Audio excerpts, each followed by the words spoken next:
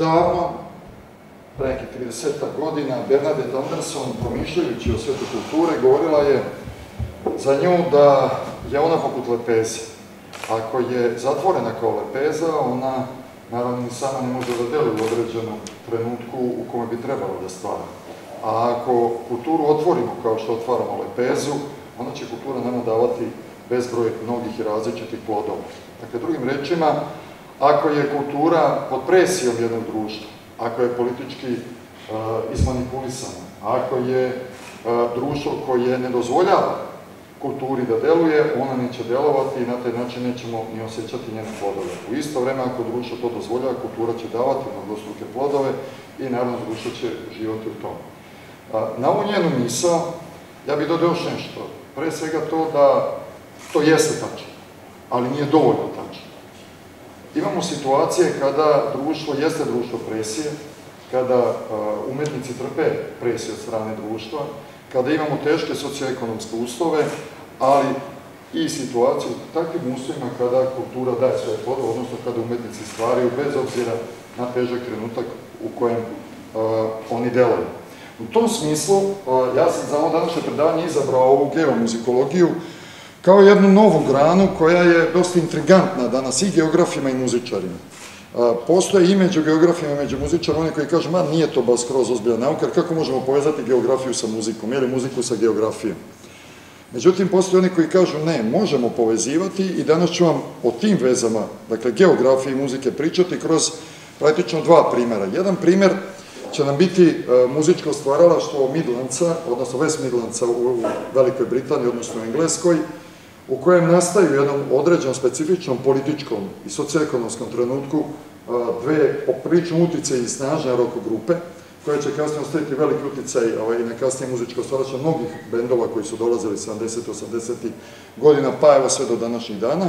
I s druge strane vidjet ćete otprilike kako jedan politički represivan sistem, komunistički sistem, sovjetski sistem, može u isto vreme da dobije jedan snažan muzički odgovor, umetnički odgovor u stvaraču nekoliko autora, pre svega na primjeru sam dao Vladimira Visockog o tome, zapravo da muzika nije samo zabava, nije aspekt zabave i nije samo nešto što nam svira onako na kraju dana, nije to ni onaj TV Pink 1, 2, 3, 4, 5, 6 do 22, ne znam nijakoliko kanala nam nudi, ovaj, govore nam zapravo mnogi autori koji se bave ovom geomuzikologijom. Tako recimo ovde sam izdvojio mišljenje u Johna Overinga, koji kaže da ona nije ni samo deo masovne potrošnje, mada često danas, ako posmatramo rock muziku, ona se više uplivava u taj prostor masovne potrošnje i sve je površnija, jeli, već onaj način na koji vidimo svet i kako sebe taj svet smještamo, i ovo drugo mišljenje Žaka Atalija da je muzika ogledalo društva.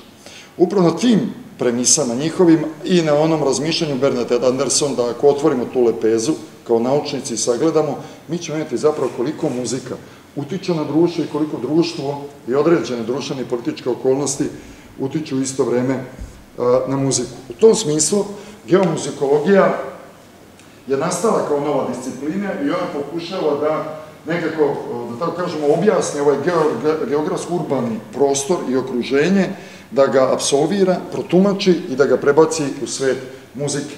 U tom smislu, ona pokušava da obradi kroz izvesne političke teme, teme identiteta, etniciteta, politike, patriotizma, komponente geopolitike, muzičko stvaralaštvo. Da bi ovo pojasnio, ne samo na ovim primjerima, mi to možemo dati čak i na primjer nekih naših grupa. Da li u pitanju recimo Bora Čorba, Riblja Čorba, 90. godina, njihov nekakav politički angažman ili politički angažman prljavo kazališta u Hrvatskoj, recimo tokom 90. njihovo prisustvo na političkim skupovima određenih političkih stranaka i tako dalje i videti recimo kroz reči tih tekstopisaca otprilike kako oni i kakve stavove političke zastupaju. Takođe, interesantno je posmatrati i ovu urbanu geografiju, znači tu geomuzikologiju, na način političkog angažovanja i buđenja, recimo, afroamerikanaca. Afroamerikanci se danas najviše prisutni, recimo, kroz rep. Rep nisu ono samo teme seksa i, i ne znam, aluzije na seks i tako dalje, oni često obrađuju i one uske e, teme koje dolaze iz geta u kojima žive afroamerikanci u sve američkim državama, dolaze iz njihove sirotinje, dolaze iz problema sa drogom i tako dalje, dakle sa svim te neke okruženje u kojem obitavaju. Zatim je dosta interesantan slučaj Jacques Brela, recimo šansonjera, francuskog, drugi belgijanca, ali pitanje je da li postoji belgijanac kao nacija. Dakle, ovaj, jednog ovaj, poprično poznatog ovaj, kant autora iz vremena šansone, koji je recimo e, prikazivao i unosio predela u kojima je živeo u svoje pesme, pa i oni dosta lepo mogu da se vide kako jedan stvarac proživljava okruženje u kojem živi i stvara i kako to pretače ovaj, na pesme, jer to ono bilo što ga Siniša ticao. Ili recimo, konkretno ovdje irska folk muzika, koja je popriča angažovan, koja je bila prisutna kroz Sinn Fein i različite političke pokrete koji su bili poprično snažni i jaki ovaj, u Irskoj, dok je Irska se borila za svoju nezavisnost i kasnije. I jedan, recimo, primjer koji je dosta nama nepoznat, aboriđinski rok. Dakle, radi se o aboriđinima u Australiji koji su dugo vremena bili pod pritiskom vlasti u Australiji. U Australiji je čak vršen genocid na aboriđinima negde prike sredinu 20. veka. I to je bilo obrađeno ne samo ovaj, u tekstovima mnogih historičara, njihovih autora, već recimo čak i u nekim filmovima, u stvaralaštvu, kulturnom, umetničkom i tome slično, tako da ti taj aboriđinski rok peva te teme koje ih se stvarno tiču kada je u pitanju opstanak njihove nacije, njihovog naroda. I što je interesantno, drugi muzičari kojima se svidao zvuk, znači zvuke koji, koje aboriđini unose kao svoje originalne zvuke u muziku, prihvatili su te zvukove, ali, muziku, ali reči nisu. Tako da reči su odlutalo nekakve ljubavne teme kod drugih autora, ali je ova muzika koju su aboriđini dali zbog trenutno prisutne globalizacije u svetu uspela da otputuje mnogo dalje. Inače, za osnivače geomuzikologije smatraju se Peter Nash i George Carlin. I ovdje u zagradama ja sam stavio recimo šta oni smatraju, šta je bitno za ovaj, uh, ovu samu geomuzikologiju. Dakle, koje teme su bitne da se obrađuju da bi se ona kao novi pravac koji negde, da to kažemo, lavir između geografije i muzike mogla izučavati. Dakle, šta je bitno za taj njen, da tako kažemo, identitet. Ono čemu ću ja govoriti u prvom delu predavanja jeste, dakle, ovaj takozvani West Midland. West Midland on je deo, dakle, engleske, koji praktično od 17. veka, kada je doba bilo snažne industrijske revolucije u Engleskoj, kada je to bio onaj snažan zamac koji se probudio apsolutno negde u 18. veku, ako sećate i srednje škole, ili ako odim istoričara, studenta, studenta istorije, sa onim pojavama parnih mašina i tako dalje u 18. veku, dakle, taj West Midland je bio popričao snažan industrijski centar. Bio je poznati među tim stanovništvom kao crna zemlja, jer se radilo o velikim rudokopima, o industriji, naravno velikim industrijskim postrojenjima koja su zapravo pravila nebo takvim da je gotovo uvek bilo crno i zemlja je bila crna. Ljudi koji su tu živjeli, jednostavno živjeli su u takvom, ovaj, popričam tamnom prostoru, ali popričam produktivnom prostoru, dakle, u koji su ulazili pre svega ovi gradovi koji su, postavljam, većini nas ovde poznati po futbolu, ja? Dakle, radi se ovaj, o ovome, kao zove Bromviću, Wolverhamptonu, Birminghamu i tako dalje. A od svih tih gradova Birmingham je bio centar te industrije. Dakle, on je jačao od 17. veka kao grad, kao centar u kojem je nicala ta snažna industrija, pre svega čaličane, koje su od 20. veka bile, da tako kažemo, prvenstveno orijentisane ka tome da rade za ratnu industriju. Čim su radile za vojnu industriju, budući da Velika Britanija ulagala sila novac u to, naravno tu se slivalo i silno stanovništvo. I Birmingham je jačao, industrijski je jačao kao grad, u koji je dolazilo, naravno, to razno seosko stanovništvo ili iz drugih gradova, i to stanovništvo nije imalo baš sjajne uslove za život, jer se više slivalo stanovnika u taj grad nego što je grad mogao da postigne izgradnju stanova radničkih koji bi zadovoljili neke osnovne elementarne uslove za život. Tako da, ovaj, praktično možemo da kažemo da je to grad bio i ova fotografija nam govori negdje iz prve polovine 20. veka, kako je izgledao Birmingham, dakle to je pretočno bio grad radnika i sirotinja. Rad koji je imao crno nebo, crnu zemlju, u kojem su, da tako kažemo, delovi grada zapravo bili gotovo potpuno okruženi, što bismo rekli, tim civilom. Nakon drugog, zapravo za vreme drugog svjetskog rata, taj grad je automatski budući bio najbitniji grad za Britanci, za njihovu vojnu industriju, je bombardovan. Naravno da je Luftwaffe najveći interes imalo da bombarduje ovaj grad i on je bio gotovo potpuno uništen. A to nije značilo da se povukla vojna industrija iz njega. Ona je nastavila nakon drugog svjetskog rata da postoji, da se razvija u tom gradu, I, naravno, budući da je nastavila da se proces se razvija, sad još veći bio problem ovih običnih stanovnika grada. I oni jadni uslovi koji su imali sad su bili dodatno otežani, upravo bombardovanjem. Nakon rata Britanija ulaže prvenstveno novac u izgradnju industrije, pa tek onda ostavlja nekakav novac za ove stanovnike grada da se eventualno popravljaju njihove kuće. I imamo jednu poprično tešku situaciju. S jedne strane, nakon svakog velikog rata, prvi bio prvi ili drugi svjetski rat, kod mladih ljudi koji su ratovali i tako dalje, dolazi do oslobađanja. Ljudi su frustrirani ratom. Teško ih je natarati da žive životom koji su živjeli pre. Znaju veoma dobro šta znači smrt i blizina rata. I tu sad svoju frustraciju gledaju izbace praktično u društvu, ono svakodnevnom životu. Zbog toga i nakon Prvog svjetskog rata mi imamo, ono, popričam, velike iskorake društava na zapadu ka slobodama. Da li u pitanju su bili razni feministički pokreti, da li sloboda žena, sloboda čak i u muzici, u igranju, u oblačenju, tako isto nakon drugog svjetskog rata. Omladina koja je stasavala nakon drugog svjetskog rata bila je buntovna.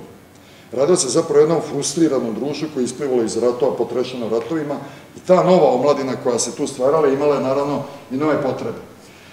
S tim sada, naravno, ne smemo u ovo sve zaboraviti još jedan segment, propaganda. Vreme nakon drugog svjetskog rata je vreme hladnog rata.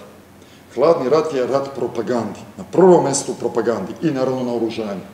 U tom ratu propagandi Zapad priča kako je divan, sjajan, sve je bogato, sve je predivno, svi imamo odlične plate, svi odlično živimo na tom istom Zapadu, a omladina, upravo u ovom West Midlandu, živi potpuno drugačije.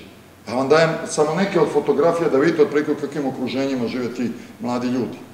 Dakle, na što liče ti gradovi?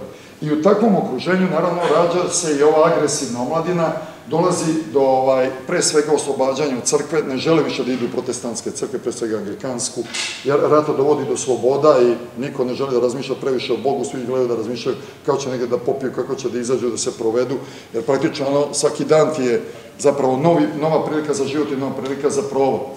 Razvija, razvija se potrošačko društvo, sad je ovde namerno stavljam pubovi i klubovi, ali u onom smislu da više u te poboje klubove ne mora da ide onaj koji ima 21 godinu. U West Midlandsu to je potpuno spušteno do Dakle, mogu ići mlađi. Otvaraju se prvi pubovi u koje mogu ljude koji nisu punoletni da idu. To je ogroman iskorak jednog društva. To je nama danas može ono normalna stvar. Šta, pustiš klinca, ne znam, pub da pije, on pije, ti obrne 3, 4, 5 tura i bitno je da uzmeš novac. Ali u to vreme, na takve stvari se gleda. Prično se vodilo računu. Međutim, u ovim ovde delovima Engleske ne. Tako da mladi ljudi jednostavno osjećaju potrebu i da izlaze i da se skudi kamo slobodnije ponašaju, ali u njima i dalje je prisutno ono nezadovoljstvo svakodnevnim životom. Svakodnevnim životom koji je zapravo predstavljen evo, u ovim sivim zonama u kojima se često, da tako kaže, mešaju industrija, meša se, mešaju se jeftina, bedna, sirota, radnička naselja. Ovde recimo možete da vidite jedno od tih naselja, kako su ljudi živjeli, tu su živjeli porodice Tako su izgleda radnička naselja u Birminghamu. Ovo je jedno tipično dvorište u Birminghamu, koje vidite decu kako odrastaju. Dakle, vidite sirotinju oko sebe. To je to okruženje Birminghama koje je povio poprilično potresen drugim svetskim ratom. Ovde sam vam naveo nekoliko primjera, da bi se samo videli šta je to doživo u Birmingham u drugom svetskom ratu i kakva je to situacija koja nastaje u gradu u kojem će izrasti praktično najpoznatiji heavy metal band, a to je Black Sabbath da kada vidite njihovo okruženje, odakle ljudi stvaraju i kako njima dolaze ideje, gde se rađaju njihove osnovne ideje. Dakle, pre svega ovo, pogledajte, nakon rata 51.000 kuća je bila pogođena u bombardovanju u tom gradu. Grad je gotovo bio potpuno sravnjen sa zemljom. Do 1960. 38.000 kuća je predviđeno za rušenje. Ona ne govori samo da je velik broj kuća predviđen za rušenje. Ona govori da ovi ljudi su se da tako kažemo, zamajavali od 45. do 60. nisu porušili dobar deo svog grada, nisu krenuli odmah u grad. Oni su obnjavali industriju, ali ljudi su nastavili da žive bedno. U tim kućama koje su zarušene, oni su i dalje živeli. 15-20 godina vi ste stasali u nekakvoj kući zarušeni. Primer, recimo, sledećem gori Birmingham 48. Pogledajte, 81.000 kuća bez kupatila, 35 bez toaleta, 55.000. 29.000 kuća imalo zajedničke zidove. Dakle, to su ozbiljni problemi jednog grada koji je bio potrešen s jedne strane drugim svetskim ratom, a s druge strane tim, da tako kažemo, disparitetom između svog života, koji je ovakav, i one propagande i slike, nama je super, mi divno živimo. Zato jer smo na zapadu i sad smo svi srećni zbog toga. Dakle, to su ti, da tako kažemo, problemi s kojima je e, grad stasavao, a da ne govorim, recimo, železnica je presecala grad, groblje odmah bilo tu uz fabrike, što može ako je kod vas u Šapcavama i normalno je tamo odmah u Zorku ide i grob. Ali recimo na zapadu to tako kod većine gradova nije bilo. Dakle, to je nešto što im se možda mi možemo ovaj, da, da tako kažemo, suočiti i našim socijalističkim zemljama poput visokog nivoa zagađenja i tome slično. Ali ono što jeste, dakle, karakteristika, to je da ovaj deo zemlje je imao, dakle, idealnu geografsku urbanu situaciju da dođe do nekakvog bunta, da se stvori nešto novo i nešto drugačije u takvom okruženju. Pre svega, dakle, ovde vidite broj opadanja mladih od 45. do 50. koji odlaze u crkve, do 1960. još je bio manji i to je sve bio korak po korak ka stvaranju jednog novog muzičkog stila koji će nastati tamo negde 1968. 69. godine i koji će izroditi jednu potpuno novu muziku i potpuno novu odgovor na stvarnost. S druge strane, pogledajte, ovde sam dao ovaj, fotografiju ovog Fuller Song puba, dakle puba koji je primao isključivo posetioca od 16 do 25 godina. Znači, posticano je opijanje omladine i klinaca od 16-17 godina, stvarala se jednostavno ta neka nova, drugačija ovaj, kultura, da tako kažem, koja će a, izroditi jednu veliku pobunu, koja će zapravo nići u delima ljudi koji su osnovali a, Black Sabbath, a kasnije naravno i Judas Priest. A, kada govorimo o heavy metalu, nastanku heavy metalu i uticaju te geografije na njega, ja sam ovde namerno naveo jedan od članaka koji je poprilično neko ostaje velik uticaj ovaj, na analizu tih problema, to je ovaj članak ovaj, Michaela Harrisona, jeli, koji je napravio o, zapravo o muzičkoj fabrici, kako je u stvari industrijska geografija i okruženje radničke klase post, post, odnosno postratno Birminghama uticao na stvaranje heavy metala. U smislu da vam kažem zapravo da mnogi naučnici su se ozbiljno bavili ovom problematikom i onda i ovaj, naravno, naučnik je došao do nekih saznanja koji mi znamo, odnosno da heavy metal kao pravac ovog muzici je danas ono globalni fenomen. Heavy metal se pretvorio dobrim delom u industriju. On je da industrije ima čitav niz različitih pravaca i tako dalje. Naravno ima i poštenih muzičara koji stvaraju tu i koji ozbiljno i iskreno pristupaju tome, ali dobar deo industrije, industrija ga je preuzela, novace veliki zarađuje tu, vrti se velika sredstva i u tom smislu, dakle, heavy metal je već danas nešto drugo od onoga što je bio 1900 68. i 9. godine. A, dakle, on kao pokret, kroz rad ovog Black Sabbath i Judas Priesta, idealno nastaje upravo u ovom okruženju engleske. Ono što je za nas, da tako kažem, bitno u sagledavanju ove teme, to je da je heavy metal bio logičan odgovor ove uske sredine pogođene ovakvim razvojem na ono što se dešavalo u isto vreme u sve američkim državama. U sve američkim državama nezadovoljna studentska omladina, mnogobrojni intelektualci bune se protiv toga da Amerika stalno ide u svet i da je prisutna u ratovima svuda po svetu i tome čuje. Imala Amerika i posle drugog svjetskog rata čitav niz ratova. Za nas ostaje interesantni korejski rat, vjetnamski rat, a vjetnamski rat je neposredan povod za naravno čitao jednu veliku pobunu, odnosno za nastanak hipi pokret u Americi 60. godina, koji poziva na ljubav, cveće, mir i tako dalje, protiv bilo kakvog rata je i tome sliče. Za razliku od njih, u ovom gradu, muzika koja nastaje u okviru tog pokreta, dakle pokreta mira koja je uglavnom muzika blagih, nežnih tomova, višeglasnog pevanja i tome slično, mada naravno ima i drugačijeg stvara, ono što tu odgovor je na to ovog dela Engleske potpuno drugačiji. Ja sam namerno i deo dve fotografije, dakle, da biste otprilike vidjeli dve različite atmosfere. Atmosfera, recimo, pred koncept jednog hipi pokreta i tako dalje, i recimo jedna od atmosfera u ovaj Birminghamu na jedan od prvih nastupa grupe Black Sabbath, znači gde dolaze oni radnici, bednici, skupljaju se da čuju šta se to novo dešava i ko peva ono što oni misle, ono što zapravo nose ljudi ovaj, u sebi. Tako da Birmingham polako počinje i naravno Wolverhampton i tako dalje, taj engleski deo, da rađa jednu novu ideju, novu vrst muzike i novu vrst reči. Sada oni tekstopisci koji su obično govorili ne, ono, nećemo, nećemo rad, hoćemo ljubav i tako dalje, ovi ljudi ovde potpuno drugačije istu temu doživljavaju. Doživljavaju na jedan zaista specifičan i svoj način. U tom smislu, zapravo i nastaje avgusta 1969. ovaj band koji se zove Black Sabbath, koji e, je zapravo nastao iz potrebe, da tako kažem, ja sam ovde rekao srednje klase, mada tu je bili radnički, niže klase, više možda prisutno nego srednje, potrebe da iskaže svoju frustraciju, svoje nezadovoljstvo, svoj život i to što vidi da negde dalje u nekom drugom svetu žive bogati, a oni žive bedno, siromašno, skučeno, zatvoreno i da im se ono što bi se nekim rokerskim žargonom reklo, da im nekakva politika i političari prodaju priču, da i valju jednu istu priču i da oni to ne mogu više da konzumiraju i ne žele takvu priču da konzumiraju. U tom smislu, na njihove teme, koje su pre svega bile inspirisane besom i nezadovoljstvom, veliki uticaj je igralo i, da tako kažemo, porodično nasađe fabričkih radnika. O tome je pisao i govorio Jozi Osborn, koji inače njihov bio tekstopisac uz ovog Tenisa Butlera, jeli, ali predstavno je bio tekstopisac, pevač naravno je bio ovaj, Black Sabata, govorio upravo o tom teškom porodičnom nasađu fabričke radnike, jer je sam potiče iz fabričke porodice, odnosno radničke porodice, iz bede, iz velike porodice, potiče obojice iz ove gradske sirotinje, sam Ozi Osborn živao je u kući koja nije imala toalet. Imao je petero braća i sestara, dakle ukupno šestoro dece. Imao oca alkoholičara, koji je radio u fabrici, kojih je tu, koji maltretirao kada bi se napio, mamu je prebijao i tome sliče. Dakle, sve to neko nasađe, sva ta beda. Čak pogledajte kako je detinstvo imao, ovde sam naveo, dakle, gde je govorio da su njih šestoro delili jedan par cipela, ono, pa kome veće, ko manje, onda i nazuje onako pa je šeta u tome i slično. Nije imao čak ni gaće, jedne pantalone, jedna jakna, to je sve što je imao čovjek. Dakle, detinstvo. Dakle, bilo je jedno poprično frustrirano detinstvo upravo tom bedom i tim radnicima i tom nekom atmosferom tek narastajuće industrije koja je dolazila u ovaj Birmingham.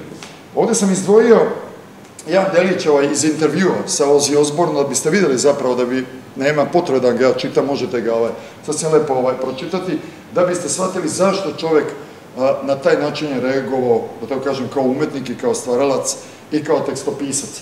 A ovde gore, sad se lepo zapravo vidite, otprilike ta industrijska postrojenja i ovde naravno sa ove desne strane, odnosno vama s leve strane, vidite te barake u kojima su živjeli ti radnici. Dakle, jasno je otprilike u kakvom okruženju su oni stvarali i u kakvoj suprotnosti je to bilo s onom stvarnosti koje je Zapad pričao o svom bogatstvu, o lepotama svakodnevnog života i tako dalje. Tako da ne treba da nas iznenadi to što je on upravo ovaj, imao taj neki, da tako kažemo, negativan stav prema društvu i što je ta njegova negativnost na taj način izbijala iz njega. U stvari, jednostavno, možemo da kažemo, ovaj autor je bio krajnje iskren. Krajnje iskren u svojim nastupima i on, kao i ovi ostali članovi njegovog benda, u tom smislu su nastupali, naravno, na svojim ovaj, početnim albumima. Ono što vidimo, recimo, kod njih, to su neke od tema koje su poprilično bili interesantne za tadašnje društvo. Dakle, kao što je rat bio obrađivan od strane hipi pokreta, ovi ljudi su o ratu govorili na jedan grub način. Upravo onako, postupajući u skladu sa mestom iz kog dolazi. U tom smislu nam se lepo pojavlja ova industrijska geografija kao ovaj, primer tumačenja njihovih tekstova. Tako da sam ja ovde sad deo tekst jedne, u stvari deo jednog od ovaj, njihovih tekstova, da vidite otprilike kakve reči oni koriste.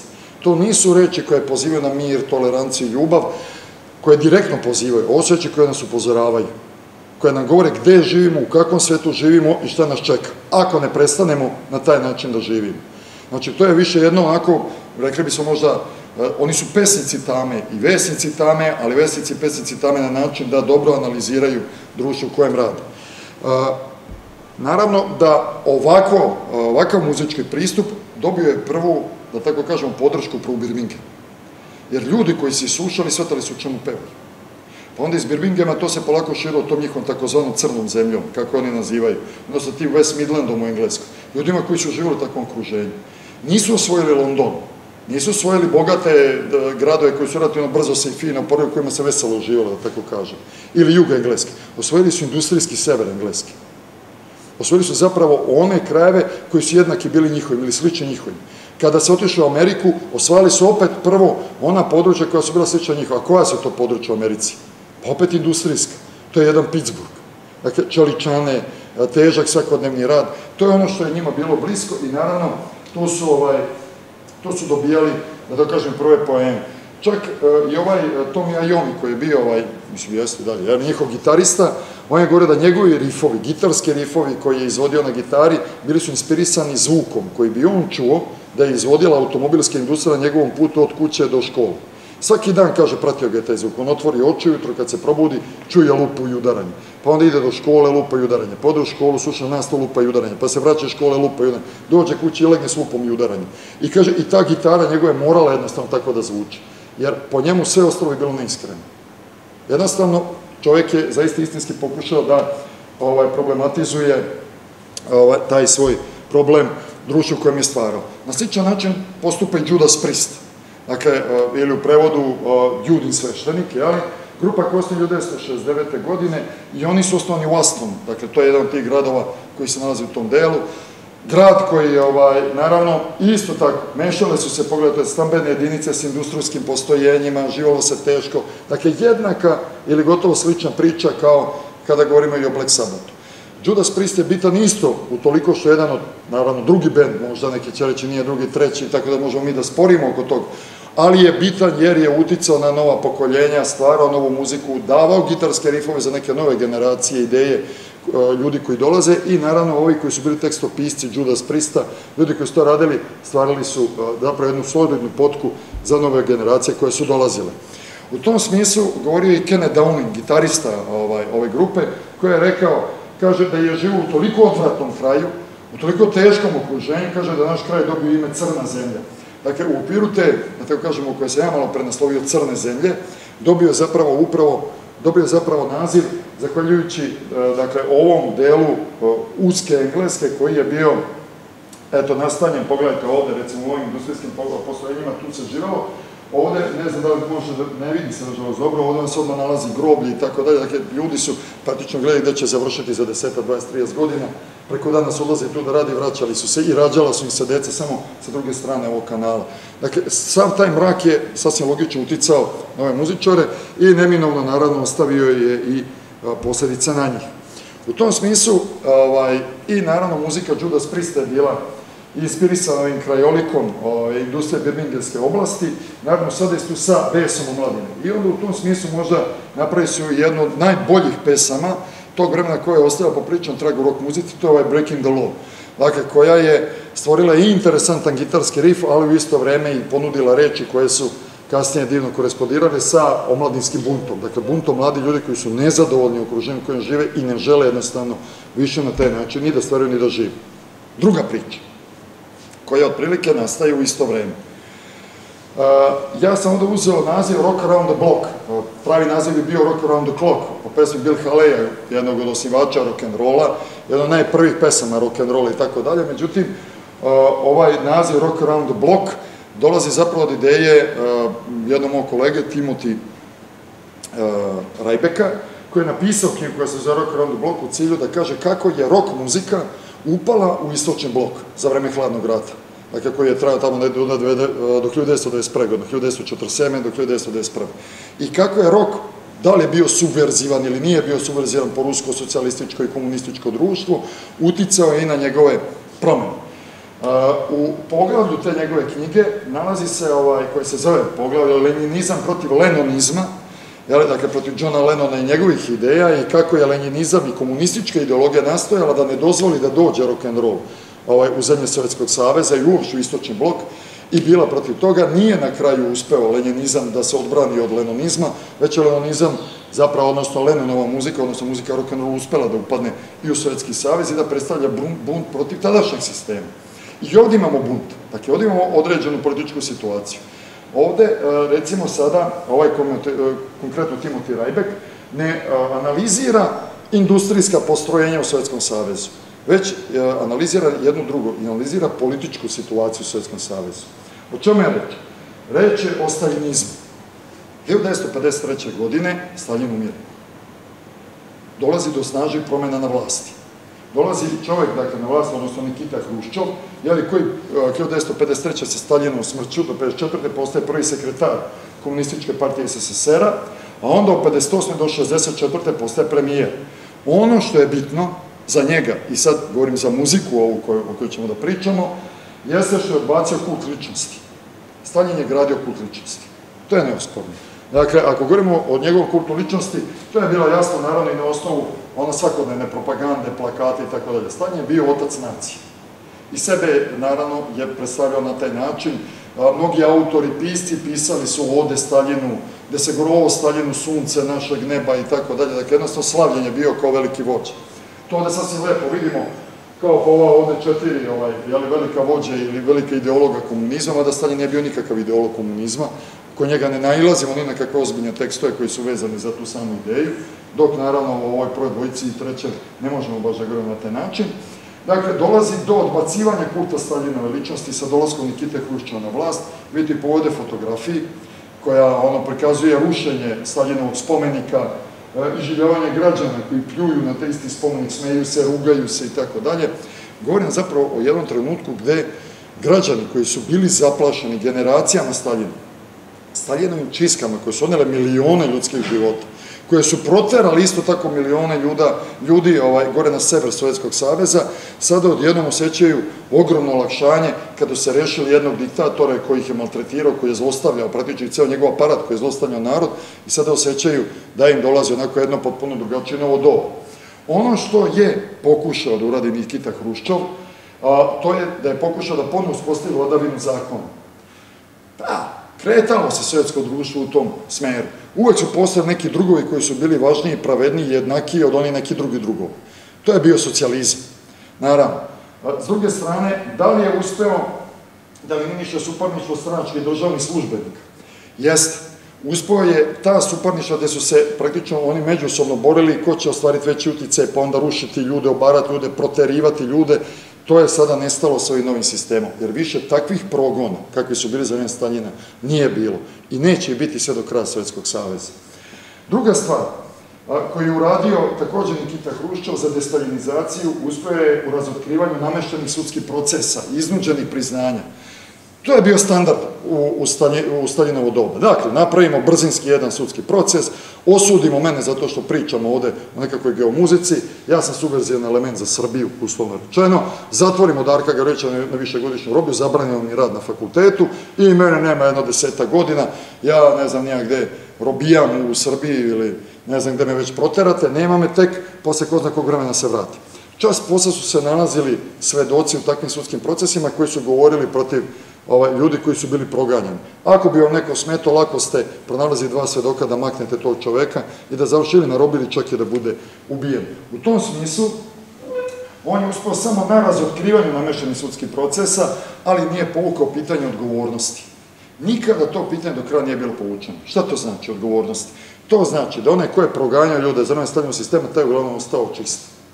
Ko je bio islednik gore na Sibiru, taj je ostao čist. Ko je ubijao gore zarobljenika na Sibiru, taj je ostao čist u ogromnom broju ljudi nisu bili proteriveni. To je ono što mi danas zovemo lustraciju, modernim rečnikom. Znači, kada vam dođe i kažu treba izvršiti lustraciju našeg društva, jer smo činili zločine, radili razne nepodopštine i tako dalje, to znači da treba određen broj ljudi samo maknuti sa političke scene i povući, pokrenuti zapravo sudske procese koji će im za sve vremena zabraniti, recimo, da se bave politikom. E, to nije uradio Nikita Hruščov do kraja. Ti ljudi su i dalje ostali prisutni u svetskom društvu. Sovjetsko društvo sa Nikitom Hruščovim nije postalo slobodno, ali je počelo slobodnije da diše. I dalje je komunistička partija na čelu, naravno, ne na čelu, nego za koje je stajao KGB, vodila račun o tome šta se peva, ko peva, zašto peva i zbog čega peva.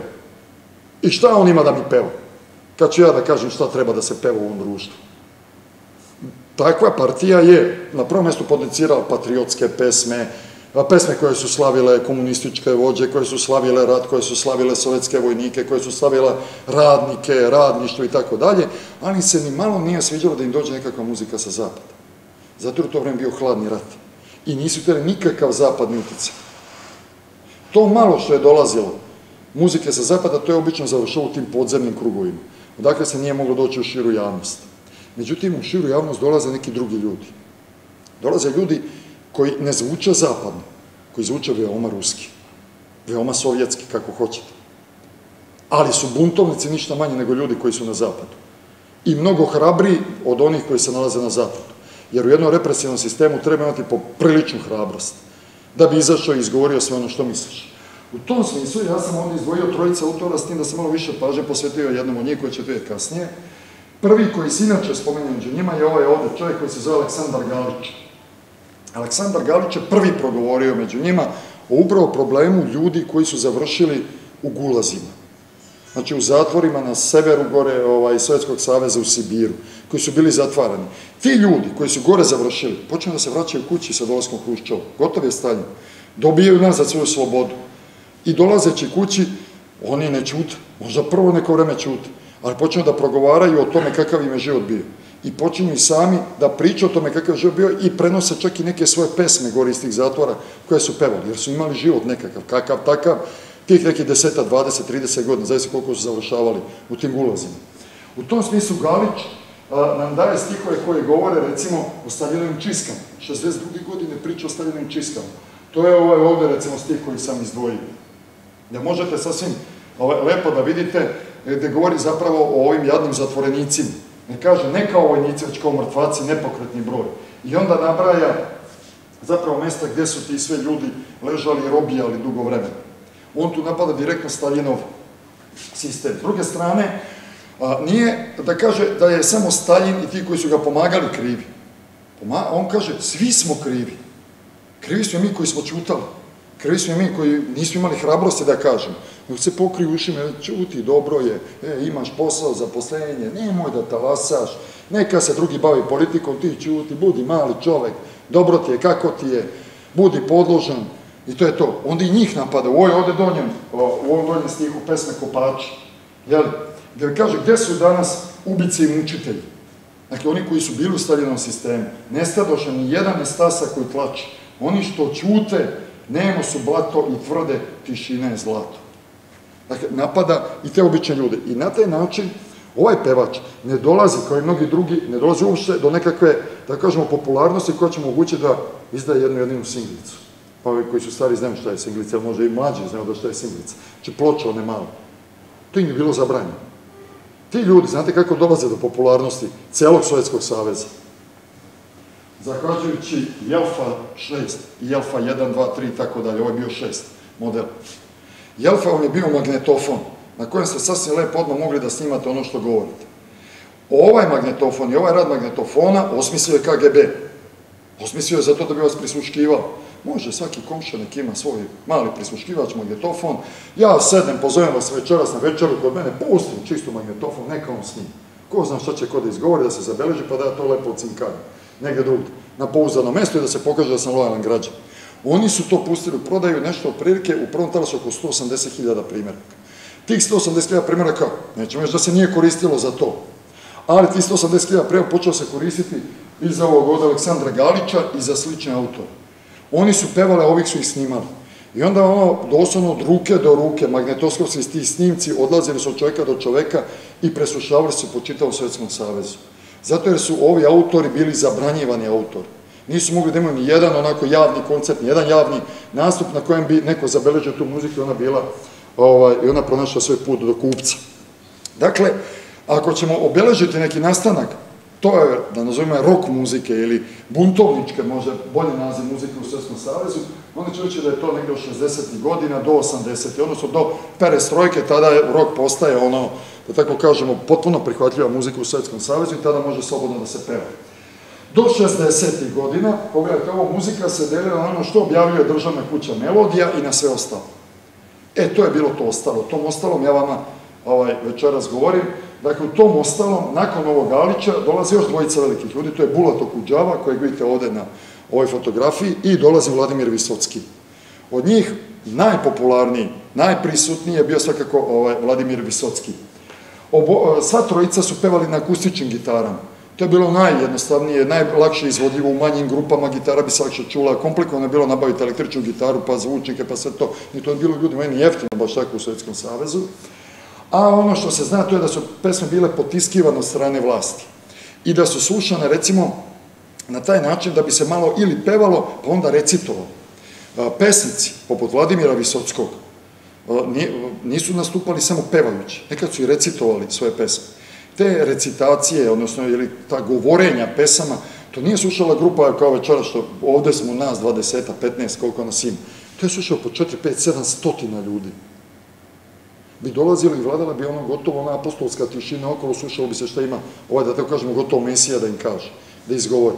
Sličnu situaciju pisao tome Zoran Đerić, kada je govorio o odlasku, o, da tako kažemo, stvaračkih, stvaralaca sa istoka na zapad, u jednom svojih knjiga, slična je situacija u Belorusiji danas. I dan danas u Belorusiji vi imate, recimo, pesnike koji mogu da okupe 2, 3, 4 stotine ljudi, oni izgovaraju reči pesama, a ovi slušaju ne samo ovako u prostorima, već otvaraju se prozori pa se slušaju iz polja da bi se čuo šta pesnik ima da kaže. Jer pesnik je jedan, onako da kažem, unutrašnji motor društva i jedna refleksija društva na onu političku stvarnost u kojoj ljudi ovaj, žive. Kada govorimo o samo Vladimiru Visockom, samim svim poreklom on je intrigantna figura. Intrigantna figura je, pre svega zato što je njegov otac jednim delom bio jevrej. Kada kažemo, a šta je tu sad ono interesantno, Sovjetski savez i jevrej, Rusija jevrej, nešto šta je interesantno, pa interesantno. Ako gledamo antisemitizam, dakle mržnju prema jevrejima, većina ljudi će reći, pa mržnja prema jevrejima bilo u Nemačkoj, zato jer sve ti ovazujemo za Hitlera. Međutim, mali broj ljudi zna da antisemitizam, moderni antisemitizam, je nastao u Francuskoj. Pa iz Francuske potom je svoj snažan talas imao u Rusiji, sa ogromnim programima jevreja, na stotine hiljade jevreja izbačeno iz Rusije, carske Rusije, a onda čak i kad su komunisti došli na vlast, Stalin je nastao da progoni jevreje 30. godina. I mnogi jevreji naučnici su završili gore u Sibiru i obični jevreji su završili u Sibiru.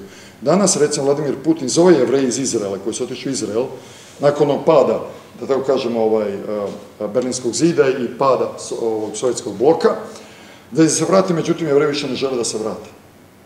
Te nove generacije, čak i ove starije, više nemaju potrebu da se vrate u Sovjetski savez, odnosno u Rusiju, jer se i dalje boje onog antisemitizma koji je njima godinama pretio. E, ovaj Vladimir Visocki je jednim delom bio jevrej i on je tekako to odlično srčao, a majka mu je bila prevodilac ovaj, sa nemačkog jezika i ona je bila dvojnog porekla i tu ono, da tako kažemo, multikulturalnost kod svojih roditelja Vladimir Visocki je osjećao i kao umetnik i kao stvaralac i problematizovao taj problem, da što mi smo mi danas modernim rečekom nazvali nacionalne manjine. Problem nacionalne manjine problematizovao je u tim svojim pesmama 60. godina. Ono što je za njega ovaj, takođe bitno, to je da je bio i glumac. Poznat glumac je Vladimir Sad, čak i igrao nekim našim filmovima, jugoslovenske neke kinematografije, partizanske i tako dalje. Ono su bile male uloge, beznačajne uloge i tome slično. Za njega je svakako bilo ovaj, bitno ovo njegovo nastupanje u pozorištu Taganjka. Na Taganjke je, dakle, igrao često, dobio je sjajne, recimo, uloge, poput, recimo, uloge u Brechtovom životu Galilejevom. Brecht je bio jevrej, da znate, mislim, samo Bertolt Brecht je bio jevrej, koji je jednim delom ovaj život Galilejev napisao pod nacističkom Nemačkom, onda dok je pisao to svoje delo, gledao da pobegne nekako od nacista, pa je drugi deo dela, pošto je uspeo da pobegne u sve američke države, napisao u svom iznanstvu sve američkim državama. I kroz to delo izbija taj problem jevreja, te neskučane zajednice, koja se nalazi ne samo u problemu kao zajednica, već on pronalazi problem sebe kao čoveka koji je izbačen, praktično izopšten iz društva. Sve to sjajno zapravo osjećao je ovde, tako kažem, Vladimir Visocki, ovaj, i naravno i kroz Hamleta kojeg je igrao u tom istom pozorištu, on je problematizovao, dakle, mnoge te svoje unutrašnje životne priče koje je prolazio kroz detinstvo i svoju mladost. Ono što je posebno interesantno, ovaj Taganjka teatar, je bio često predmet politički progon, zato jer je bio suviše slobodan teatr. Čak kada su napravili i postavili predstavu Bulgakova, Majstor i Margarita, koja tematizuje dolazak Sotone u sovjetsko društvo i kako se Sotona provodi i šta radi i tako da u sovjetsko društvo, to je bilo strašno za ondašnji politički establishment, oni su bili, da te kažemo, gotovo u konstantnom problemu sa vlastima. Tek tamo negde 74. godine ta situacija se, da kažemo, smekšala i, i ta predstava, ovaj, Majstori Margarita i druge, počele su masovno da se gledaju. Ali do tih 70-ih, kad je igrao naravno i ovaj Vladimir Visocki, pozorište je stalno bilo pod zabranom. Dakle, radili bi jedno 3-4 meseca, pa onda zabrani rad vlast. Pa rade godinu dan, pa opet zabrani vlad rast. A, vlast rad. Pa je onda, ovaj, naravno, to sve zajedno i nadahnulo Visocko da za sebe intervjuima govori da je prljavi žid, dakle da je prljavi jevrej. Da bi govorio, pogledajte, kao što postoji u antisemitizmu, u okviru njega, ta mržnja prema jevrejima, da se često govori prljavi jevrejin, odvratni jevrejin i tako dalje. E, tako on rekao, pogledajte, kao što moje pozorište pati i ja zajedno sa njim patim, ono je u isto vreme kao i ja prljavi jevrejin, ono je prognano. Dakle, ovde vam govorim jednostavno o jednom sistemu koji je popričan represivan kad su u pitanju umetničke slobode. Kada govorimo recimo o jednoj njegovih pesama, koja problematizuje tu, ovaj, da da kažem, manjinu, jevrejsku manjinu tamo, onda recimo ja volim da istaknem ovo antisemiti, jer ona sjajno nam daje zapravo istoriju antisemitizma. U ovom donjem delu ovaj, stihova njegovih kaže jevreji da piju krv hrišćanske dece, Dakle, ovo nam govori o starom vidu antisemitizma, gde su hrišćani u srednje veku duboko verovali da jevreji za svoju pasku ovaj, uzmu zakolju jedno hrišćansko dete, pa to pomešaju krp, onda to zajedno sa svojim hlebom popiju i tako dalje, što je naravno budalaštine potpuna. A, dakle, gore o prisustvu tog starog hrišćanskog antisemitizma i onda pogledajte ovde gore, da je antisemitizam koji je bio i na zapadu, prisutan, Charlie Chaplin je bio jevrej, ali naravno i u Sovjetskom savezu, kaže pa njihov je Kepler kog izmuči Stalin.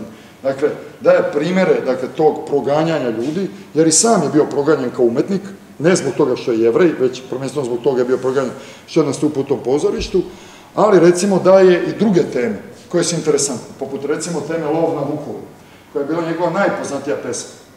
Možda, je, možda ako na YouTube, budući da je, mislim ja zbog predavanja moram da završam vezano za 45 minuta, ali ako odete na YouTube možete da čujete to predavanje, budući da je Visocki izvikio, on je urlao svoje pesme. Hrapavim glasom, gitara je bila zvučala mjeraštima, onda je to taj poznati ruski štim ovaj, u gitari, on je zapravo govorio o tome kako stradaju nevini komunisti. Ljudi koji pristupe komunističkoj partiji kao mladi ljudi iz uverenja, iz ubeđenja da se bore za nešto postojno, čestito, da država treba da bude takva počne česta kako komunizam propagira, da se to bude država, država jednakih ljudi, jednakih prava i tome slično. A onda ti isti ljudi doživljavaju progon.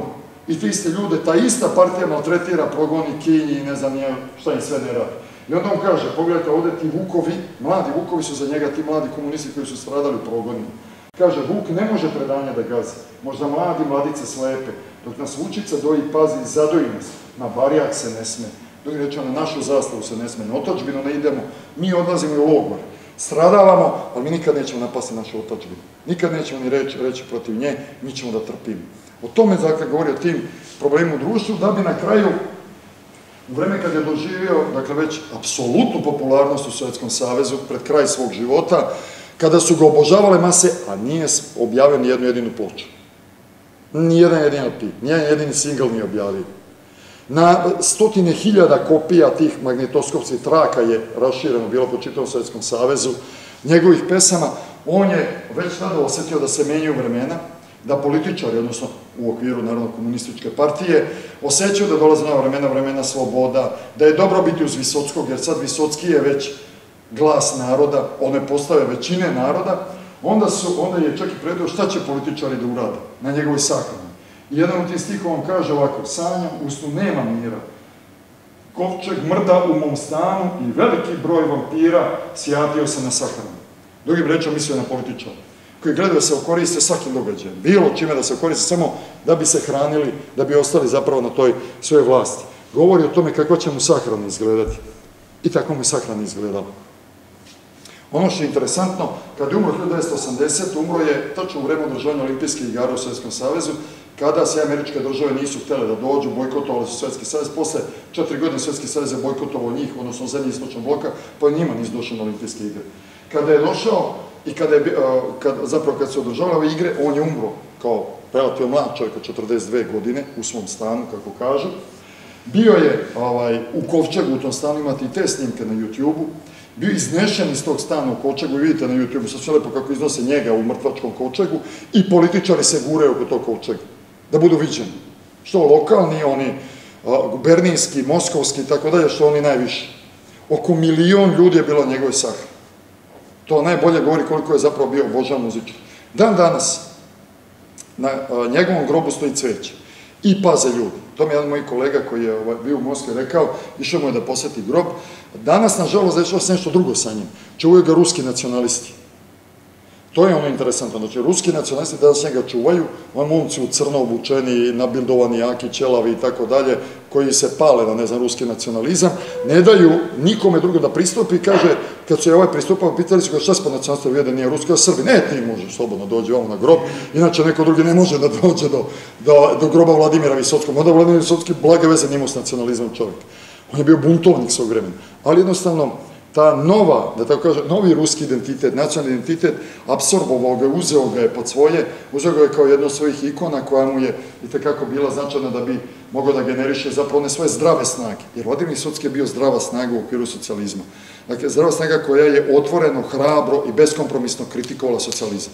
A budući da je nacionalistima socijalističko društvo automatski ali neprijatelj, nije im bilo teško da ga ovaj, uzmu pod svoje krilo. Ono što je ovaj, iza njega ostalo, ostalo je to da njegove ploče su tek kasnije objavljene nakon njegove smrti. I ima danas ta kolekcija njegovih ploča, dobar deo tih njegovih pesama raštimano zvuči i zvuk krči i tako dalje, ali to je sve ono što je ostalo iza njega na tim magnetoskopskim snimcima. Ima nekoliko albuma koji su bili studijski albumi, koje je radio u Francuskoj, ne u Sovjetskom savezu. Dakle, i da tako kažem, sa njim zapravo u neku ruku, ja bih rekao, i završava, njegovom smrću završava taj strašan period presije u Sovjetskom savezu. Od te 80. godine polako Sovjetski savez se otkravljuje, dolaze bendovi, svira se muzika, muzika je sve više prisutna u Poljskoj koji ulazi u ono svoje doba solidarnošći i pobuna protiv socijalizma.